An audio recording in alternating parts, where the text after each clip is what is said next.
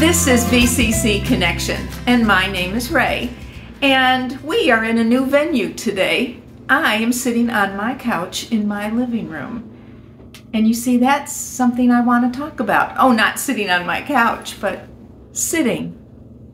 Sitting with the Lord. I'd like to read to you from Watchman Nee's Table in the Wilderness, and his verse is Ephesians 2 6. And he says, God made us to sit with him in the heavenly places in Christ Jesus. What does it really mean to sit down? When we walk or stand, we bear on our legs all the weight of our own body, whereas when we sit down, our entire weight rests upon the chair or bench on which we sit. We grow weary when we walk or stand, but we feel rested when we have sat down for a while. In walking or standing, we expend a great deal of energy, but when we are seated, we relax at once because the strain no longer falls upon our muscles and sinews, but upon something outside ourselves. So too in spiritual things. To sit down is simply to rest our whole weight, our load, ourselves, our future, everything upon the Lord. We let Him bear the responsibility and ceased to carry it ourselves. Do you sit with God? And I don't mean just a quiet time and that, but do you sit with Him and let Him have everything you carry? Psalm 55:22 says, "Cast your burden on the Lord. Let him have it.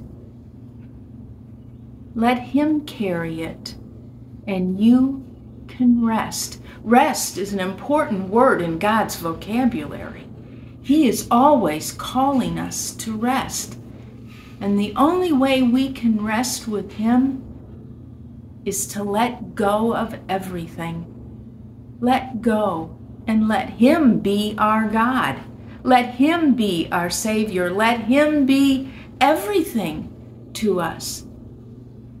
Too often we think we have to carry it. Too often we think we even have to be our own Savior. Make things happen. Make things right. Make things all be perfect. And we can't. There's nothing in us that can do that.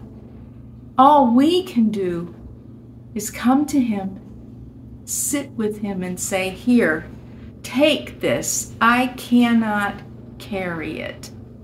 I don't know what to do with it. You do. You take it. And then you lean back and you relax. You relax. And your muscles relax. Your brain relaxes. Your emotions relax because you've given it all to Him. So this week, I encourage you to go sit with God Yes, sit with him to enjoy his company, but sit with him to give him everything that you're carrying. Let him have that responsibility to take care of you, for he loves you, loves you immensely. Thanks for sitting with me today. Thanks for resting in the Lord. Hope you have a wonderful week. I'll see you next time.